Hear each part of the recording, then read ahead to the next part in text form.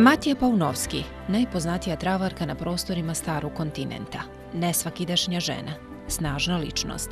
Sve što zna o ljekovitom bilju i travama, kaže, naučila je od svoje bake. Sljedeće godine napunit će 80-tu, no njeno lice nikako ne odaje toliko godina. Ima ova prije svega srdačna i veoma zanimljiva žena recepti za to. krema koja je stara a, 100 godina, rećemo 100 godina. Za tih 100 godina se ta krema nije mutila mikserom, kao mi danas trrrr, hoćemo pjenu i hoćemo, ne znam, šlag ovaj, šlag oni. Nego je 100 godina moja baba, baba koja više ne postoji i kosti joj se raspale, ona je jednostavno uzela svinsku mast. Svinsku mast, pa je stavila u jedan sud i u jednome krugu je mutila tu svinsku mast dok je ta svinska mast dobila neku svoju veliku mekoću. Kad je dobila veliku mekoću, na drugome mjestu je bio, bila stupca drvena. To, to je prije sto, govorim o sveme što je bilo možda sto godina. E, znači, u toj stupcu je se stupalo, e, stupalo se razno bilje koje treba da dođe unutra. I sad dole je bila mala česmica, česmica se otvori, uzme se e, jedna ili list kupusa ili se uzme jedna šolja, nema, nema veze šta, stavi se unutra i unutra u tu mast se stavi to, to bilje, znači bilje u sokovima, znači ne suvo, nego u sokovima. I ono se jednostavno muti sve dotle dok ne dobijete divnu zelenu boju od koje će vam oči. Eto, recimo, za 80 godina imate priliku da vidite jednu, divnu babu koja jako, jako, jako mnogo znači. Sve bolesti skoro 40 godina uz 120 godina dugu porodičnu tradiciju liječi preparatima iz prirode. Sve je počelo davne 1971. kada su joj doktori dijagnosticirali karcinom. Iako su, kako kaže prognoze ljekara, bile loše, ona je odlučila da se neće predati prije nego što napuni 100 godina. E, tada se Matija vratila svojim korijenima, počela skupljati trave i od tada je svaki dan sa pacijentima i travama a za tih 120 godina smo pronašli na ovome bijelome svijetu e, možda, možda smo negdje najjači, najjači, recimo kod asme, brohitica i kašlja. zbog toga što sam ja, ja lično, osim karcinoma 71. godine kojeg sam imala, operisala u Mostaru, zračila u Petrovoj bolnici u Zagrebu i obavila sve medicinske naloge koji su mi naloženi i evo me vidite danas među vama, pasla sam, niste vi, ali ja sam pasla travu, da nisam pasla travu, danas me ne bi bilo ovdje. Ali smo ipak najjači u plućnim stvarima. Znači, astman, prohitis, kašalj. E, među njima je Inula, Matijasin čaj, za kapi, Adam. Za alergije smo veliki majstori. E, dovoljno je e, da nam se obratite i kažete da imate problema sa alergijom i da za alergiju dobijete jedan divan matijasin.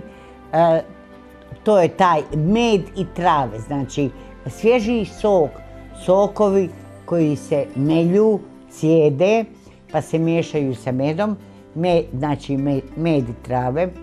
E, iza, toga, e, kad dobijete to, onda obavezno dobijete jedno malo ulje koje stavite u nos po nalogu indijanaca. Oni tako isto rade, e, sve ovo drugo rade kao i ja. Znači i prsa mažu sa masi koju imaju za prsa, leđa koje imaju za leđa i razne druge dobre stvari, ali mi je jako važno da imaju tu jednu malu flašicu koju, stavljaju par kapi u nos, da se tokom dana ne bi pelut skupljala u nosu, tako da uvečer kad očiste nos imaju čist nos. Velikim postignućem smatra i njihova biljna vina. E, oči moje da ti kažem nešto. A medicina za ovo nema lijeka.